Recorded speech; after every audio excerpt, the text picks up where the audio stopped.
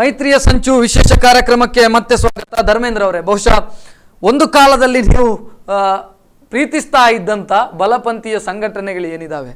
ಅವುಗಳು ಪಬ್ ಕಲ್ಚರ್ನ ವಿರೋಧಿಗಳು. ಪಬ್ ಅಂದರೆ ಆಗೋದಿಲ್ಲ ಅವರಿಗೆ, ಕ್ಲಬ್ ಅಂದರೆ ಆಗೋದಿಲ್ಲ, ಯೂತ್ ಸೆಲೆಬ್ರೇಟ್ ಮಾಡುವಂಥದ್ದು ಅವರಿಗೆ ಇಷ್ಟ ಆಗೋದಿಲ್ಲ. ಸೊ ಇಲ್ಲಿ ಕಾಣಿಸ್ತಾ ಇದೆ, ಅವರ ಹಿರಿಯ ನಾಯಕರೊಬ್ಬರ ಪುತ್ರ ಪಬ್ನಲ್ಲಿ ಫೋಟೋ ತೆಗಿ, ಸೆಲ್ಫಿ ತೆಗಿತಾ ಇರುವಂಥ ದೃಶ್ಯಗಳನ್ನು ನಾವು ನೋಡ್ತಾ ಇದ್ದೀವಿ. ಸೊ ಇದು ಏನು ಕತೆ ಹೇಳ್ತಾ ಇದೆ? ಅಂದರೆ ವೇ ಹೇಳೋದು ಹೇಳೋದು ವೇದ ಅಂತ ಮಾಡೋದು ರಾಧ ಅಂತ ಈ ಈ ಪರಿಸ್ಥಿತಿ ಅನ್ನುವಂಥದ್ದು. ನೀವು ನನ್ನನ್ನು ತಿರುಗಿ ನನ್ನ ಗತಕಾಲಕ್ಕೆ ಎಳೆದು ತರುವಂಥ ಪ್ರಯತ್ನ ನೀವು ಮಾಡ್ತಾ ಇದ್ದೀರಿ. ಇದಕ್ಕೆ ಉತ್ತರ ಕೊಡೋದು ನನಗೂ ಸ್ವಲ್ಪ ಕಷ್ಟ ಆಗುತ್ತೆ. ಏನು ನೀವೇನು ಪಬ್ಬು ಸಂಸ್ಕೃತಿ ಮತ್ತೆ ಬೇರೆ ಅನೇಕ ವಿಚಾರಗಳು. ಹೌದು. ಅಂದರೆ ಕಂಡವರ ಮಕ್ಕಳಿಗೆ ಬುದ್ಧಿ ಹೇಳೋದು ನಮ್ಮ ಮಕ್ಳು ಹೇಗಿದ್ರು ಆಗ್ಬೋದು ಅಂತನೋ?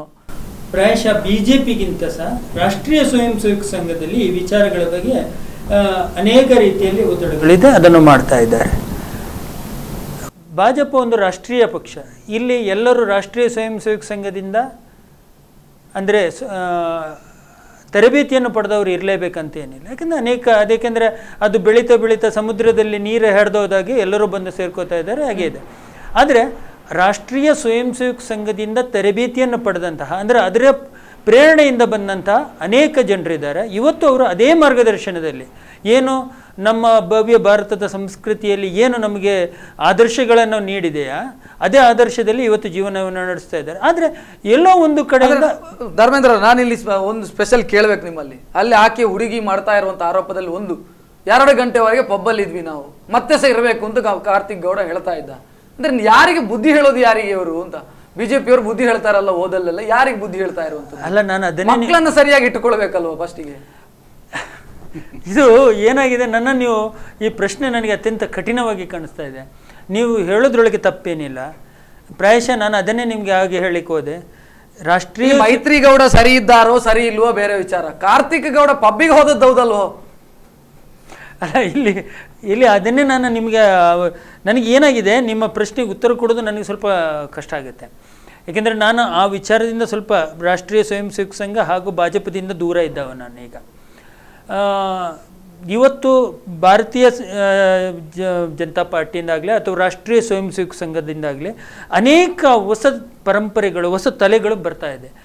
ಇವತ್ತಿನ ಏನು ಏನು ಹೇಳ್ತಾರೆ ಅಲ್ಲ ಗ್ಲಾಮರ್ ಸಮಾಜದಲ್ಲಿ ಬದುಕುವಾಗ ಪ್ರಾಯಶಃ ಇವತ್ತಿನ ವ್ಯವಸ್ಥೆ ಅಡಿಯಲ್ಲಿ. ಈಗ ನೀವು ಹೇಳ್ಬೋದು ರಾಷ್ಟ್ರೀಯ ಸ್ವಯಂ ಸೇವಕ ಸಂಘದಲ್ಲಿ ಫೇಸ್ಬುಕ್ಕನ್ನು ವಿರೋಧಿಸ್ತದೆ. ಇಲ್ಲ ಹಾಗೇನಿಲ್ಲ. ಪಬ್ ಸಂಸ್ಕೃತಿಯನ್ನು ವಿರೋಧಿಸ್ತದೆ. ಹೌದು ಆದರೆ ಪ್ರಾಯಶಃ ಸದಾನಂದ ಗೌಡರ ಗಮನಕ್ಕೆ ಬಾರದೆ ಈ ಘಟನೆಗಳು ನಡೆದಿರ್ಬೋದು. ಸದಾನಂದ ಗೌಡರ ಗಮನಕ್ಕೆ ಬರ್ತಾ ಇದ್ದರೆ ಸದಾನಂದ ಗೌಡರ ಅದನ್ನು ವಿರೋಧಿಸ್ತಾರೆ. ಯಾಕೆಂದರೆ ನನಗೆ ಅನ್ನಿಸ್ತದೆ ಅವರಂಥ ವ್ಯಕ್ತಿತ್ವದವರು ಕೂಡ. ಅನಿವಾರ್ಯ ಕಾರಣದಿಂದಾಗಿ ಸದಾನಂದ ಗೌಡರ ಗಮನಕ್ಕೆ ಬಾರದೆ ನಡೆದಿರುವ ಘಟನೆಗಳು ಆಗಿರಬಹುದು ಆದ್ರಿಂದ ಅದನ್ನ ನಾವು ರಾಷ್ಟ್ರೀಯ ಸ್ವಯಂ ಸೇವಕ ಸಂಘ ಅಥವಾ ಭಾಜಪಕ್ಕೆ ನಾವು ಅದನ್ನ ನೇರ ಹೊಣೆ ಘಟನೆ ಹೊಣೆ ಯಾರು ಹಾಗಾದ್ರೆ ಕಾರ್ತಿಕ್ ಮೈತ್ರಿ ಗೌಡನೋ ಪ್ರಾಯಶಃ ಅದರೊಳಗೆ ಇಬ್ಬರದ್ದು ಸಮಪಾಲುಗಳ ಇದಿದೆ. ಅದು ಕಾರ್ತಿಕ್ನವರಿಗೂ ಪ್ರಾಯಶಃ ಈ ಥರದ ವ್ಯವಸ್ಥೆ ಆಗುತ್ತೆ ಅಂತ ಗೊತ್ತಿರಲಿಕ್ಕಿಲ್ಲ ಇತ್ತು. ಏನೋ ಒಂದು ಆತ್ಮೀಯ ಸಂಬಂಧಗಳಿಗೋಸ್ಕರ ಇಟ್ಟಿರ್ಬೋದು ಅದು ಈ ಮಟ್ಟಕ್ಕೆ ಬಂದಿರ್ಬೋದು. ಸರ್ ನಾನು ಆಗಲೇ ಕೇಳಿದೆ ನಿಮ್ಮಲ್ಲಿ. ಈ ಅತ್ಯಾಚಾರ ಪ್ರಕರಣ ದುರುಪಯೋಗದ ಆಗದಂತೆ ತಡೆಯೋದಕ್ಕೆ ಏನಿದೆ ಮಾರ್ಗಗಳು ಅನ್ನುವಂಥದ್ದು? ಏನು ಮಾಡಬಹುದು? ಅಲ್ಲ ತಡಿಲಿಕ್ಕೆ ಆಗುದಿಲ್ಲ ಯಾರಿಂದ? ಹ್ಮ್. ಇದು investigation circumstantial evidence scientific evidence ಇದ್ರ ಬಗ್ಗೆ ಸ್ವಲ್ಪ ಜಾಸ್ತಿ ಪೊಲೀಸರು ಕಾಳಜಿ ತಗೊಳ್ಬೇಕು. ಆದರೆ ಇಲ್ಲಿ ಒಂದು ಪ್ರಶ್ನೆ ಉದ್ಭವ ಆಗ್ತದೆ ಏನಂತ ಹೇಳಿದರೆ ಕಂಪ್ಲೇಂಟ್ ಕೊಟ್ಟ ಕೂಡಲೇ ಚಾಸ್ಟಿಟಿ ಆ ಹೆಂಗಸು ಅವಳು ಇವಳು ಮೈತ್ರಿ ಹಾಗೆ ಆಗಬಾರ್ದು. ಅವಳಿಗೊಂದು ಸಮಾಜದಲ್ಲಿ ಒಂದು ಸ್ಥಾನ ಇದೆ ಹುಡುಗಿಯವಳು. So you should respect her version also ಅದಕ್ಕೆ ಎನ್ಕ್ವೈರಿ ಆಗಬೇಕು. ತರೋ ಎನ್ಕ್ವೈರಿ ಆಗಬೇಕು. ಮತ್ತು ಸದಾನಂದ ಗೌಡ್ರು ಹೇಳಿದರೆ ನಾನು ಇದಕ್ಕೆ ಇಂಟರ್ಫಿಯರ್ ಆಗೋದಿಲ್ಲ. ಒಂದು ಇಪ್ಪತ್ತೆಂಟು ವರ್ಷ ಪ್ರಾಯ. And I think as a senior leader ಅವ್ರು ಇಂಟರ್ಫಿಯರ್ ಆಗುದಿಲ್ಲ ಅಂತ ನನ್ನೊಂದು ಭಾವನೆ. ಮತ್ತೆ Karnataka police will definitely do justice ಯಾಕಂದ್ರೆ ರೆಡ್ಡಿಗಳು ಹೇಳಿದ್ದಾರೆ ಕಮಿ ಬೆಂಗಳೂರು ಕಮಿಷನರ್ ಅವರು. ನಾವು ಸೈಂಟಿಫಿಕ್ ಎವಿಡೆನ್ಸಿಗೆ ಮತ್ತೆ ಸೈಕಲಾಜಿಕಲ್ ಅನಾಲಿಸಿಸ್ ಮಾಡ್ತಿದ್ದೇವೆ ಈ ಕೇಸ್ ಬಗ್ಗೆ. So that is a very good move ಪ್ರಾಯಶಃ ಎಲ್ಲ ಪೊಲೀಸ್ನವರು ಈ ತರದ್ದು ಮೂವ್ ಮಾಡಿದ್ರೆ ಖಂಡಿತ ಇದಾಗ್ತದೆ. ಯಾಕಂದ್ರೆ ನಾನು ಒಂದು ಇನ್ನೊಂದು ಹೇಳಲಿಕ್ಕೆ ಇಚ್ಛಿಸ್ತೇನೆ ಯು ಪಿಯಲ್ಲಿ ರೇಪ್ ಅಂಡ್ ಮರ್ಡರ್ ಅಂತ ಒಂದು ಆಯ್ತು. ಎರಡು ಮಕ್ಕಳನ್ನು ಹ್ಯಾಂಗ್ ಮಾಡಿದ್ರು. ದಲಿತ ದಲಿತ ಹೆಣ್ಮಕ್ಳು ಅದರಲ್ಲಿ ಈಗ ಏನಾಯ್ತು? ಸಿ ಬಿ ಐ ಎನ್ಕ್ವೈರಿ ಆಗಿ ಏನಾಯ್ತು? ಅದು ರೇಪೇ ಆಗಿಲ್ಲ ಅಂತ ಮಾಡಿಬಿಟ್ರು. ಹ್ಮ್ ಅದಕ್ಕೆ ನಾವು ಮೊದಲೇ you should decide yes sir ಒಬ್ರು ಕಾಲರ್ ಮಾತಾಡ್ತಾರೆ. ಹಲೋ ನಮಸ್ತೆ. ಹಲೋ ನಮಸ್ತೆ ಸರ್ ನಮ್ಮ ಹೆಸರು ಹೇಳಿ ಎಲ್ಲಿಂದ ಕರೆ ಮಾಡ್ತಾ ಇದ್ದೀರಿ? ಕುಂದಾಪುರದಿಂದ ಮಾತಾಡಿದ ಸರ್ ಅಜಿತ್ ಕುಮಾರ್ ಶೆಟ್ಟಿ ಅಂತ. ಅಜಿತ್ ಕುಮಾರ್ ಶೆಟ್ಟ್ರೆ ಮಾತಾಡಿ ಏನ್ ಹೇಳ್ತೀರಿ? ಈ ಘಟನೆಯನ್ನು ನೋಡ್ತಾ ಇದೀರಿ ಬಹುಶಃ ಒಂದು ವಾರದಿಂದ ನೋಡ್ತಾ ಇದೀವಿ ನಾವು. ಹೌದು ಒಂದು ವಾರದಿಂದ ನೋಡ್ತಾ ಇದ್ದೇನೆ. ಎಸ್ ಅಜಿತ್ ಕುಮಾರ್ ಶೆಟ್ಟರ್ ಹೇಳಿ ಮಾತಾಡಿ. ಕೇಳ್ತಾ ಇದೆಯಾ ಸರ್? ಹೇಳ್ತಾ ಇದೆ ಮಾತಾಡಿ. ಅದೇ ನಾನು ಟಿವಿಯಲ್ಲಿ ನೋಡ್ತಾ ಇದ್ದೆ. ಅವ್ರು ಮೊನ್ನೆ ಟಿವಿ ಬೆಳಿಗ್ಗೆ ನೋಡುವಾಗ ಎಸ್ ಮಾತಾಡಿ. ಅವರ ಕುತ್ತಿಗೆಯಲ್ಲಿ ಅದು ಅರ್ಶಿನ ಕೊಂಬು ಇರ್ಲಿಲ್ಲ. ಮಧ್ಯಾಹ್ನ ಟಿವಿಯಲ್ಲಿ ಬರುವಾಗ ಇದ್ದಿತ್ತು. ಹ್ಮ್ ಹ್ಮ್. ಮತ್ತೆ ಅವರು ಪದೇ ಪದೇ ಐದು ಆರು ಬಾರಿ ಅತ್ಯಾಚಾರ ಮಾಡಿದ್ದಾರೆ ಅಂತಾರೆ. ಒಂದೇ ಸ್ಥಳದಲ್ಲಿ. ಅದು ಹೇಗಾಗುತ್ತೆ ಅತ್ಯಾಚಾರ ಅಂತ? ಹ್ಮ್ ಹ್ಮ್. ಅಂದ್ರೆ ಈ ಈ ಕಂಪ್ಲೇಂಟ್ ಏನಿದೆ? ಇದರಲ್ಲಿ ಈ ಆರೋಪದಲ್ಲಿ ಹುರುಳಿಲ್ಲ ಅಂತ ಹೇಳ್ತಿರೋ?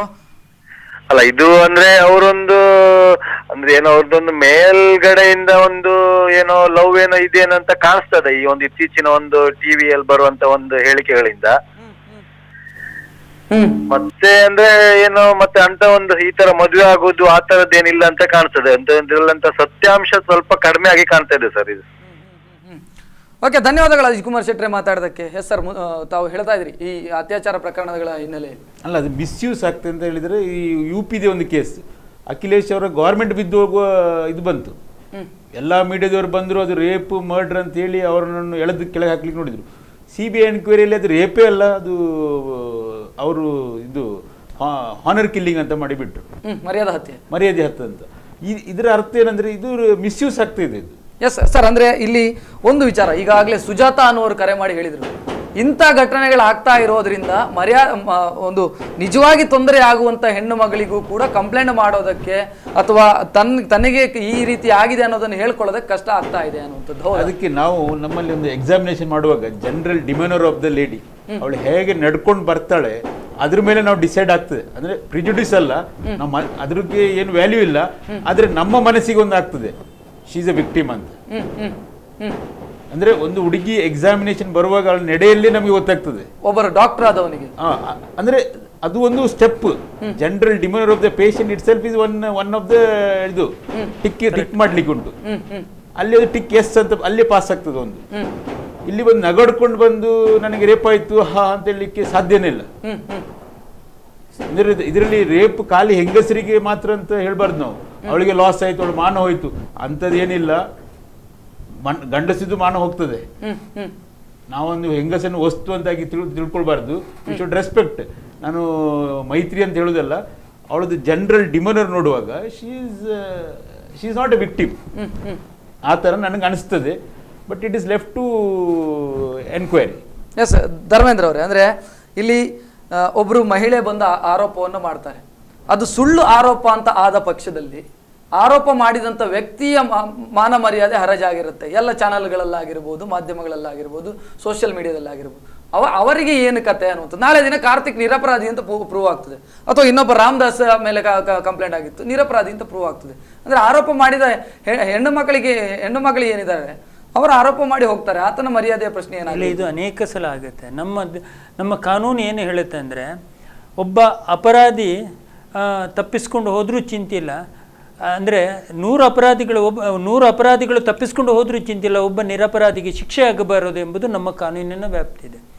ಆಗಿರುವಾಗ ಒಬ್ಬ ನಾನು ಹೇಳೋದಷ್ಟೇ, ನಾವು ಒಂದ್ಸಲ ನಮ್ಮನ್ನು ಅದರೊಳಗೆ ಯಾವನೇ ಇರಲಿ, ನಾಳೆ ನಾನಾದರೂ ಸರಿ ಅಥವಾ ಯಾರವನ ಒಂದ್ಸಲ ನಿರಪರಾಧಿಯಾದ ವ್ಯಕ್ತಿಗೆ ಆರೋ ಆ ರೀತಿಯ ಆರೋಪಗಳು ಬಂದು ಅವನ ಇಡೀ ಮಾನ ಹರಾಜಾದಾಗ ಅದನ್ನು ತಿರುಗಿ ಕ್ರ, ವಾಪಸ್ ಪಡ್ಕೊಳ್ಳಿಕ್ಕಾಗೋದಿಲ್ಲ. ಇವತ್ತು ನೋಡಿ, ನಮ್ಮ ವ್ಯವಸ್ಥೆ ಹೇಗಿದೆ ಅಂದರೆ, ಎಲ್ಲಿ ಕ್ರೈಮ್ ನಡೆದಿದೆ ಅದು ನಡೆದಿದೆ, ಇಲ್ಲೋ ಇನ್ವೆಸ್ಟಿಗೇಷನ್ ಆಗಿ ಎಲ್ಲ ಆಗುವ ಮುಂಚೆನೇ ಮೀಡಿಯಾ ಪ್ರಿ ಎಲೆಕ್ಟ್ರಾನಿಕ್ ಮೀಡಿಯಾ ಆಗಲಿ ಪ್ರಿಂಟ್ ಮೀಡಿಯಾ ಆಗಲಿ ದೊಡ್ಡ ವೈಭವೀಕರಿಸ್ತದೆ. ನಾನು ಅದಕ್ಕೆ ಹೇಳಿದೆ? ನಾನು ಈಗಲೂ ಹೇಳಿದೆ ನಾನು. ಇದನ್ನು ಬಂದ್ ಮಾಡಿ ಮೊದಲು. ಇನ್ವೆಸ್ಟಿಗೇಷನ್ ಆಗಲಿ ತಿಳಿಯಲಿ ಆಮೇಲೆ ನೀವು ಅದನ್ನು ತಿಳಿಸಿ. ಆವಾಗ ಅಟ್ಲೀಸ್ಟ್ ಸಮಾಜದ ಎದುರು ಕಡೆ ನಾಳೆ ಸಹ ಈಗ ನೋಡಿ, ಅವನು ಇನ್ವೆಸ್ಟಿಗೇಷನ್ ಆಗಿ ಅವನು ನಿರಪರಾಧಿ ಅಂತ ಹೇಳಿದ ಕೂಡಲೇ ಅದನ್ನು ದೊಡ್ಡದಾಗಿ ನೀವು ತಿಳಿಸೋದಿಲ್ಲ ಮೀಡಿಯಾ ತಿಳಿಸೋದೇ ಇಲ್ಲ. ನಾನು ಅದು ಪತ್ರಿಕೆಯಲ್ಲಿ ಓದಿದ್ದೇನೆ. ದೊಡ್ಡದಾಗಿ ಕ್ರೈಮ್ ನ್ಯೂಸ್ ಪೇಪರ್ಗಳು ಬರುತ್ತೆ. ನಾನು ಒಬ್ಬರಿಗೆ ಕೇಳಿದ್ದೇನೆ. ಅವ್ರು ಹೇಳ್ತಾರೆ ನಮ್ಮ ಟಿ ಆರ್ ಪಿಗೆ ಅದೊಂದು ಮುಖ್ಯ. ಹಾಗಾದರೆ ಒಬ್ಬ ಒಂದು ಮೀಡಿಯಾ ಎಲೆಕ್ಟ್ರಾನಿಕ್ ಮೀಡಿಯಾ ಅಥವಾ ಪ್ರಿಂಟ್ ಮೀಡಿಯಾ ಬೆಳೀಲಿಕ್ಕೋಸ್ಕರ ಜನರ ವ್ಯವಸ್ಥೆಯನ್ನು ಕಾಲರ್ ಮಾತಾಡ್ತಾರೆ. ಹಲೋ ನಮಸ್ತೆ. ಹಲೋ ನಮಸ್ತೆ ತಮ್ಮ ಹೆಸರು ಹೇಳಿ ಎಲ್ಲಿಂದ ಕರೆ ಮಾಡ್ತಾ ಇದ್ದೀರಿ? ನಾನು ಇಲ್ಲಿ ಸುರತ್ಕಲಿಂದ ಸುರತ್ಕಲಿಂದ ಹೇಳಿ. ಕೇಳ್ತಾ ಇಲ್ಲ ಸರ್ ಸುರತ್ಕಲಿಂದ ತಮ್ಮ ಹೆಸರು ಹೆಸರು ಹೇಳಿ. ನನ್ನ ಹೆಸರು ಸಮೀರ್ ಸಮೀರ್ ಅಂತ ಹೇಳಿ. ಮಾತಾಡಿ ಏನ್ ಹೇಳ್ತೀರಿ? ಏನಿಲ್ಲ ಒಂದು ರೇಪ್ ಆದ್ರೆ ಅತ್ಯಾಚಾರ ಆದ್ರೆ ಅಂತ ಒಂದು ಹುಡುಗಿಯಲ್ಲಿ ಒಂದು ಮುಖದಲ್ಲಿ. ಹಲೋ ಮಾತಾಡಿ. ಹಾ ಒಂದು ಬೇಜಾರಿಲ್ಲ ಒಂದು ಖುಷಿ ತರನೇ ಇದು ಒಂದು ರೇಪ್ ಆದ್ರೆ ಹುಡುಗಿ ಒಂಥರ ಬೇಜಾರಲ್ಲಿ ಹಾಗಾಗಿದೆ ಹೇಳೋದು ಕೂಗು ಅಥವಾ ಕಣ್ಣೀರು ಏನೂ ಇಲ್ಲ. ಒಂಥರ ಜೋರಿ ಟೈಪ್ ಆಗಿ ನನಗೆ ಅದು ಮಾಡಿದಾನೆ ಇದು ಮಾಡಿದಾನೆ ಈ ತರ ಹೇಳ್ತಾ ಇದ್ರೆ ನಮ್ಮ ಬೇರೆ ಕಾಲದಲ್ಲಿ ನಿಜವಾಗಿ ಅದು ಏನು ಆಗ್ಲಿಲ್ಲ ಅದೊಂಥರ ಸುಮ್ಮನೆ ಏನೋ ಆ ತರ ಏನೋ ಆವರಿಸ್ಕೊಂಡು ಏನೋ ರಾಜಕೀಯ ಅಂತ ಸ್ವಲ್ಪ ಏನಾದ್ರು ಮಾಡ್ಬೇಕಂತ ನನ್ನ ಅಭಿಪ್ರಾಯ. ಧನ್ಯವಾದಗಳು. ಧರ್ಮೇಂದ್ರ ಅವರು ಮಾತಾಡ್ತಾ ಇದ್ರು. ಅದೇ, ಬಹುಶಃ ಈ ಈ ವಿಚಾರದಲ್ಲಿ, ಅಂದ್ರೆ ಕೊನೆಯದಾಗಿ ನಾನು ಕೇಳುವಂಥದ್ದು ನಿಮಗೆ ಏನನ್ನಿಸ್ತದೆ ಇಡೀ ಇಡೀ ಘಟನೆಯನ್ನು ಕಂಡ್ರೆ ನಾಳೆಯ ದಿನ ಇದು ಯಾವ ತಿರುವನ್ನು ಪಡ್ಕೊಳ್ಳಬಹುದು ಅಲ್ಲ ನೋಡಿ ಮೊನ್ನೆ ಮೊನ್ನೆ ಇತ್ತೀಚೆಗೆ ರಾಘವೇಶ್ವರ ಭಾರತಿಯವರ ಮೇಲೆ ಆರೋಪಗಳು ಬಂತು.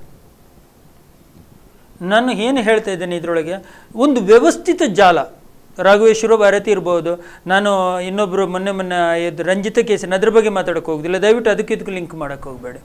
ಇನ್ನು ಅನೇಕ ವಿಚಾರಗಳು. ನಾನು ಕೇಳ್ತಿರೋದು ಕೇವಲ ಹಿಂದೂ ಧರ್ಮದ ವ್ಯಕ್ತಿಗಳ ಮೇಲೆ ನಾನು ಇದನ್ನು ಧರ್ಮಕ್ಕೆ ಯಾಕೆ ಇದನ್ನು ಸೇರಿಸಿದ್ದೇನೆ ಅಂದರೆ ಈ ಇಂಥ ಘಟನೆಗಳು ಅನೇಕ ಧರ್ಮಗಳಲ್ಲಿ ಅನೇಕ ಕಡೆಯಲ್ಲಿ ಆಗುತ್ತೆ. ಆದರೆ ಅದನ್ನು ಯಾವುದು ವೈಭವೀಕರ ಆಗ್ತಾ ಇಲ್ಲ. ಅದನ್ನು ಯಾವುದನ್ನು ನೀವು ತೋರಿಸ್ತಾ ಇಲ್ಲ. ಪ್ರಿಂಟ್ ಮೀಡಿಯಾಗಲೂ ಎಲೆಕ್ಟ್ ಕೇವಲ ಹಿಂದೂ ಧರ್ಮದ ವ್ಯಕ್ತಿಗಳ ಮೇಲೆ ಹಿಂದೂ ಪರ ಚಿಂತನೆಯುಳ್ಳ ವ್ಯಕ್ತಿಗಳ ಮೇಲೆ ಅಥವಾ ಹಿಂದೂ ಪರ ಸಂಘಟನೆಗಳ ಮೇಲೆ ನಡೆಯುವಂಥ ಇಂಥ ವಿಚಾರಗಳನ್ನು ವೈಭವೀಕರಿಸಿ ಮಾತಾಡ್ತೀರಿ. ಸದಾನಂದಗೌಡರ ಮಗ ಏನು ಮಾಡಿದ್ರು ಹೇಳಬಾರದು ಅಂತ ಅಂತ ನಾನು ಅದನ್ನು ಹೇಳ್ತಾ ಇಲ್ಲ. ಅದನ್ನು ಹೇಳ್ತಾ ಇಲ್ಲ. ಆದರೆ ನಾನು ಏನು ಹೇಳ್ತಾ ಇದ್ದೇನೆ ನೀವು ಪ್ರಿ ಎಲೆಕ್ಟ್ರಾನಿಕ್ ಮೀಡಿಯಾ ಇರಲಿ ಪ್ರಿಂಟ್ ಮೀಡಿಯಾ ಇರಲಿ ವೈಭವೀಕರಿಸುವುದನ್ನು ನಿಲ್ಲಿಸಿ ದಯವಿಟ್ಟು. ಯಾವುದು ಅಲ್ಲಿ ಸತ್ಯಾಂಶಗಳು ಹೌದು ಕಂಡು ಬಂದಿದೆ ಅಂತ ಹೇಳಿದರೆ ಅದನ್ನು ಮಾತ್ರ ನೀವು ಪ್ರಸಾರ ಮಾಡಿದಾಗ ಆ ಏನು ಇದು ಘಟನೆಗೆ ಒಳಪಡುವಂಥ ವ್ಯಕ್ತಿ ನಿಜವಾಗಿ ನಿರಪರಾಧಿಯಾಗಿದ್ದರೆ ಅವನ ಮಾನ ಹರಜಾಗುವುದನ್ನು ತಡೆಯಬಹುದು. ಎಸ್ ಸರ್ ಕೊನೆಯದಾಗಿ, ಅಂದರೆ ಇಂಥ ಘಟನೆಗಳ ಮುಖಾಂತರ ಒಬ್ಬರು ಎಕ್ಸ್ಪರ್ಟ್ ಆಗಿ, ಈ ಡಾಕ್ಟರ್ ಎಕ್ಸ್ಪರ್ಟ್ ಡಾಕ್ಟರ್ ಆಗಿ ಏನು ಹೇಳಬಹುದು? ಇಂಥ ಇಂಥ ಘಟನೆಗಳಾಗಿರ್ಬೋದು ಈ ರೀತಿ ಅತ್ಯಾಚಾರ ಪ್ರಕರಣಗಳನ್ನು ಒಬ್ಬನ ಮೇಲೆ ಸಿಲುಕಿಸೋದಕ್ಕೆ ಅತ್ಯಾಚಾರ ಪ್ರಕರಣ ದಾಖಲಿಸುವಂಥದ್ದಾಗಿರ್ಬೋದು. ಏನು ಮಾಡಬಹುದು ಏನು ಹೇಳಬಹುದು ಅಂದರೆ? ಒಂದು ಮೆಸೇಜ್ ಅನ್ನ ಕೊಡೋದು ಅಂತ ಇದು ನಿರಂತರ ನಡೀತಾ ಇರ್ತದೆ. ನಾವು ಬೇಡ ಹೇಳಿದ್ರು ಅವ್ರು ಕೊಡ್ತಾರೆ. ಇದು ವಿಕ್ಟಿಮೈಸೇಷನ್ ಇದು ಇವತ್ತಿದಲ್ಲ ಇದು ಈ two thousand thirteen criminal amendment act ಬರೋ ಮೊದಲು ಒಂದು ಹೈ ಪ್ರೊಫೈಲ್ ಕೇಸ್ ಇತ್ತು. ಮುಂಬೈಯಲ್ಲಿ. ಒಂದು ಮೀಡಿಯಾ ಬ್ಯಾರನ್ನು ಮತ್ತು ಬಟ್ಟೆದು ಯಾರೋ ರೇಮಂಡ್ಸ್ ಯಾರೋ ಅವರ ಮೇಲೆ ಒಂದು ಕೇಸ್ ಆಗಿತ್ತು. ಅವರು ಕಾಲ್ಗಳನ್ನು ಕರ್ಕೊಂಡು ಹೋಗಿದ್ರು. Everything was done properly payment ಎಲ್ಲ ಕರೆಕ್ಟ್ ಆಯ್ತು. ಹೋಗಿ ಕಂಪ್ಲೇಂಟ್ ಮಾಡಿದ್ರು. ಹ್ಮ್ ಹ್ಮ್. ರೇಪ್ ಕೇಸ್ ಆಯ್ತು. ಪ್ರತಿಷ್ಠಿತ ವ್ಯಕ್ತಿ ಪ್ರತಿಷ್ಠಿತ. ಆಕ್ಟ್ರು ಒಬ್ರು ಇದ್ರು. ಓ, ಈಗ ಈಗ ಆಕ್ಟ್ರು ಕೆಲಸದ ಹುಡುಗಿ ಮೇಲೆ ಅತ್ಯಾಚಾರ ಮಾಡಿಲ್ಲ ಅಂತ ಅವಳು ಕೇಸ್ ಮಾಡಿದ್ಲು. It is a consensual sexual intercourse hmm hmm. Hmm ಅವಳಿಗೆ ಹೈ ಪ್ರೊಫೈಲ್ ಫಿಲ್ಮ್ ಆಕ್ಟ್ರೋಟಿಕ್ ಮಾಡ್ತಂತ ಹ್ಯಾವಿಂಗ್ ಸೆಕ್ಸ್ ಅವಳ ಕನಸು. ಅದು ಕನಸು ನನಸಾಯ್ತು ಅಂತ ಹೇಳಿದ್ಲು. ಕಡೆಗೆ ಡಿಮಾಂಡ್ ಮಾಡಿದ್ಲು. ಸೊ ಇದು ನಿರಂತರ ಆಗ್ತಾ ಇರ್ತದೆ. ಇದು ಯಾರು ಸಿಕ್ಕಿಕೊಳ್ತಾರೆ ಅವರದ್ದು ಅವರ ಬ್ಯಾಡ್ ಲಕ್ ಇಲ್ಲಿ ಡಾಕ್ಟರ್ ನಾನು ಮಧ್ಯದಲ್ಲಿ ನಿಮ್ಮ ಮಾತಾಡಿ ಇಲ್ಲಿ ಏನಾಗುತ್ತೆ ಒಬ್ಬ ನಿರಪರಾಧಿಗೆ ಈ ಥರದ ಶಿಕ್ ಈ ವ್ಯವಸ್ಥೆ ಒಳಗಡೆ ಸಿಕ್ಕಿಸುವಾಗ ಉದಾಹರಣೆಗೆ ನಾಳೆ ಕಾರ್ತಿಕ್ ಗೌಡ್ರು ನನಗೆ ಗೊತ್ತಿಲ್ಲ ನಾನು ಯಾವುದು ನ್ಯಾಯ ಇದು ಕೂಡ ಮಾತನ್ನು ಹೇಳ್ತಾ ಇಲ್ಲ. ಒಂದು ನಾಳೆ ಪ್ರಾಯಶಃ ಕಾರ್ತಿಕ್ ಗೌಡ್ರು ನಿರಪರಾಧಿ ಅಂತ ಗೊತ್ತಾದರೆ ಗೊತ್ತಾದರೆ ನೀವು ಅವರ ಮೇಲೆ ಆರೋಪ ಮಾಡಿದಂಥ ಈ ಮೈತ್ರಿ ಗೌಡ ಇದ್ದಾರೆ. ಅಂಥ ವ್ಯಕ್ತಿಗಳನ್ನು ಕಠಿಣಾದಿ ಕಠಿಣ ಶಿಕ್ಷೆಗೆ ಗುರಿಪಡಿಸ್ಬೇಕು. ಆವಾಗ ಅದನ್ನು ಸಮಾಜಕ್ಕೆ ತಿಳ್ಕೊಳ್ಬೇಕು. ಇಲ್ಲ ಹಾಗೆ ಹಾಗೆ ಮಾಡ್ಲಿಕ್ಕೆ ಬರುವುದಿಲ್ಲ ಯಾಕಂತ ಹೇಳಿದರೆ ಯಾಕೆ ನಮ್ಮ prosecution rate is very less ಈಗ ನೂರು ಜನ ರೇಪ್ ಮಾಡಿದರೆ ಇಪ್ಪತ್ತೈದು ಜನ ಮಾತ್ರ ಪನಿಷ್ಮೆಂಟ್ ಆಗ್ತಿದೆ ಅದಕ್ಕೆ supreme court time and again ಹೇಳ್ತಿದೆ ನಮಗೆ ಮೆಡಿಕಲ್ ಎವಿಡೆನ್ಸ್ ಬೇಡ ನಮಗೆ ಅದು ಬೇಡ ಇದು ಬೇಡ ಹುಡುಗಿ ಹೇಳಿದ್ದೇ ಗಾಸ್ಪಲ್ ಟ್ರುತ್ ಅಂತ. ಈ ಟ್ರುತ್ ಗಾಸ್ಪಲ್ ಟ್ರುತ್ ಹೇಳಿ ಈಗ ಇದನ್ನು ಈಗ ಹೇಳಿ ಅವಳು ಹೇಳಿದ ಸತ್ಯ ಅಂತ ತಿಳ್ಕೊಂಡ್ರೆ ಕೂಡ ಒಳಗೆ ಹೋಗ್ತಾನೆ. ಒಳಗೆ ಹೋಗ್ತಾನೆ. ಸೊ ಇದಕ್ಕೆ ಇದು ನಿರಂತರ ನಡೀತಿದೆ. ಅದಕ್ಕೆ ಇನ್ವೆಸ್ಟಿಗೇಟಿಂಗ್ ಆಫೀಸರ್ ಮೇಲೆ ಇಡೀ ಕೇಸ್ ನಿಂತದೆ ಈಗ. ಚಾಸ್ಟಿಟಿ ಆಫ್ ದ ವುಮೆನ್ ಅಂತ ಹೇಳಿದಲ್ಲ ಅವಳು ಯಾರು ಯಾವ ಥರದ್ದು ಅವಳು ಅದ್ರ ಬಗ್ಗೆ ಸಹ ಏನು ವ್ಯಾಲ್ಯೂ ಇಲ್ಲ. ಇದನ್ನು ಖಾಲಿ ಎನ್ಕ್ವೈರಿ ಮಾಡಿ ಎಲ್ಲ ಮತ್ತೆ ನೀವು ಫೋಟೋ ತೆಗೆದು ಅಂತ ಹೇಳಿದ್ರಿ. ಅದು ಸೆಲ್ಫಿ ಫೋಟೋ ಯಾವುದೇ ಫೋಟೋದಲ್ಲಿ ಕಾರ್ತಿಕ್ ಗೌಡ ಅವಳಿಗೆ ಕಿಸ್ ಕೊಡುವುದಿಲ್ಲ. ಅವಳೇ ಕಾರ್ತಿಕ್ ಗೌಡನಿಗೆ ಕಿಸ್ ಕೊಡ್ತಾ ಇದ್ದಾಳೆ. ನೀವು ನೋಡಿರ್ಬೋದು ಆ ಫೋಟೋದಲ್ಲಿ. ಇದೆಲ್ಲ ಸೆಲ್ಫಿ ಫೋಟೋ ಅದು. ಸೆಲ್ಫ್ ತಗೊಂಡದ್ದು ಮತ್ತೆ ಅವಳದ್ದು ಫೋಟೋ ಆ photo has got no legal value ಈಗ ಫೋನ್ಸ್ ಫೋನಲ್ಲಿ ಮಾತಾಡಿ sides got no legal value ನಾನು ಎಲ್ಲರಿಗೂ ಲವ್ ಮಾಡ್ತೀನಿ ಅಂತ ಹೇಳ್ಬೋದು. It is got no league legal value ಇಲ್ಲಿ ಲೀಗಲ್ ವ್ಯಾಲ್ಯೂ ಇರುವುದು ಸೆಕ್ಸ್ ಆಗಿದೋ ಇಲ್ಲೋ ಅಂತ. ಸೆಕ್ಸ್ ಆದ ಯಾವಾಗ ಕನ್ಸೆನ್ಚುವಲ್ ಸೆಕ್ಷಲ್ ಇಂಟರ್ ಕೋರ್ಸ್ ಆಗಿದ್ದಲ್ಲಿ ಇದು ರೇಪ್ ಆಗುದಿಲ್ಲ ಇನ್ನೆಲ್ಲೂ ಮದುವೆಯಾಗಿ ರೇಪ್ ಆಗಿದ್ರೆ ಹೆಚ್ಚಂದ್ರೆ ಎರಡು ವರ್ಷ ಜೈಲು. ಎರಡೇ ವರ್ಷ. ಯಾಕಂದ್ರೆ ಅದು ಯಾವಾಗ ರೇಪ್ ರೇಪ್ ಅಂತ ಕನ್ಸಿಡರ್ ಮಾಡೋದಂದ್ರೆ ಸಪ್ರೇಷನ್ ಟೈಮಲ್ಲಿ ಈ ಗಂಡ ಹೆಂಡತಿ ಅವಳು ಅವಳು ಮದುವೆ ಆಗಿದೆ ಅಂತ ಹೇಳಿದ್ಲಲ್ಲ ಸಪ್ರೇಷನ್ ಟೈಮಲ್ಲಿ ಎರಡು ವರ್ಷ ಜೈಲಾಗ್ತದೆ. ಹೆಚ್ಚಂದ್ರೆ ಪ್ರೂವ್ ಆದ್ರೆ. ಎಸ್ ಸರ್ ಧನ್ಯವಾದಗಳು ನಮ್ಮ ಡಿಸ್ಕಷನ್ ಅಲ್ಲಿ ಅದೇ ರೀತಿ ಧನ್ಯ ಧರ್ಮೇಂದ್ರ ಅವರಿಗೂ ಕೂಡ ಧನ್ಯವಾದಗಳು. ಇಬ್ರು ಮಾತಾಡಿದ್ರು. ಬಹುಶಃ ಡಾಕ್ಟರ್ ಕೆಲ ಉಪಯುಕ್ತ ಮಾಹಿತಿಗಳನ್ನು ನಿಮ್ಮ ಮುಂದೆ ಇಟ್ಟರು ಅಂತ ನಾನು ಭಾವಿಸ್ತೀನಿ. ಯಾಕಂತ ಹೇಳಿದ್ರೆ ಅವರು ಎಕ್ಸ್ಪರ್ಟ್ ವೈದ್ಯರು ಮತ್ತು ಇಂಥ ಕೇಸ್ಗಳನ್ನು ಬಹಳಷ್ಟು ಡೀಲ್ ಮಾಡಿದಂಥವರು. ಸೊ ಅವರು ಹೇಳ್ತಾ ಇದ್ದಾರೆ ಮೈತ್ರಿಯಾ ಗೌಡ ಮಾಡ್ತಾ ಇರುವಂಥ ಆರೋಪ ಏನಿದೆ? ಆ ಆರೋಪದಲ್ಲಿ ಆಕೆ ಆಕೆಯ ಜೊತೆ ಕಾರ್ತಿಕ್ ಸಂಬಂಧ ಇಟ್ಟುಕೊಂಡಿದ್ದಾನೋ ಇಲ್ಲವೋ ಅದು ಸೆಕೆಂಡರಿ ಆದರೆ ಅತ್ಯಾಚಾರ ಆಗಿದೆ ಅಂತ ಅವ್ರು ಕೊಟ್ಟಿರುವಂಥ ಕೇಸ್ ಏನಿದೆ, ನನ್ನ ನನ್ನ ಅನುಭವದ ಪ್ರಕಾರ ಸಾಧ್ಯ ಇಲ್ಲ ಅನ್ನುವಂಥದ್ದು ಅವರು ಹೇಳ್ತಾ ಇರುವಂಥದ್ದು. ಸಹಮತದ ಸೆಕ್ಸ್ ಇರಬಹುದು, ಆದರೆ ರೇಪ್ ಆಗಿರುವಂಥ ಸಾಧ್ಯತೆಗಳು ಕಡಿಮೆ ಅನ್ನುವಂಥದ್ದು ಅವ್ರು ಹೇಳ್ತಾ ಇರುವಂಥದ್ದು. ಧರ್ಮೇಂದ್ರ ಅವರು ಹೇಳ್ತಾ ಇದ್ದಾರೆ, ಬಹುಶಃ ಇಲ್ಲಿ ಉತ್ಪ್ರೇಕ್ಷೆಗಳೆಲ್ಲ ಜಾಸ್ತಿ ಆಗ್ತಾ ಇದ್ದಾವೆ ಅನ್ನುವಂಥದ್ದು. ಸೊ ಏನು ಏನು ಕತೆ? ನಾವು ಜಡ್ಜ್ಮೆಂಟ್ ಕೊಡೋದಕ್ಕೆ ನಾವು ಇಲ್ಲಿ ಕೂತಿಲ್ಲ. ಸೊ ನಾಳೆಯ ದಿನ ಸದಾನಂದ ಗೌಡರು ಹೇಳ್ತಾ ಇದ್ದಾರೆ, ಏನು ಬೇಕಾದರೂ ಮಾಡಿಕೊಳ್ಳಿ, ನನ್ನ ಮಗನಿಗೆ ಇಪ್ಪತ್ತೆಂಟು ವರ್ಷ ಆಗಿದೆ, ಯಾವ ರೀತಿ ಬೇಕಾದರೂ ತನಿಖೆ ಮಾಡಿಕೊಳ್ಳಬಹುದು ಅಂತ ಸದಾನಂದ ಗೌಡರು ಹೇಳ್ತಾ ಇರುವಂಥದ್ದು. ಸೊ ಮುಂದಿನ ದಿನ ಏನಾಗುತ್ತೆ ಅನ್ನುವಂಥದ್ದನ್ನು ನಾವು ಕಾದು ನೋಡಬೇಕಾಗಿದೆ. ಇದು ಇವತ್ತಿನ ವಿಶೇಷ, ನಿಮ್ಮೂರಿನ ನಿರಂತರ ಸುದ್ದಿಗಾಗಿ ನೋಡ್ತಾ ಇರಿ. ಸ್ಪಂದನ.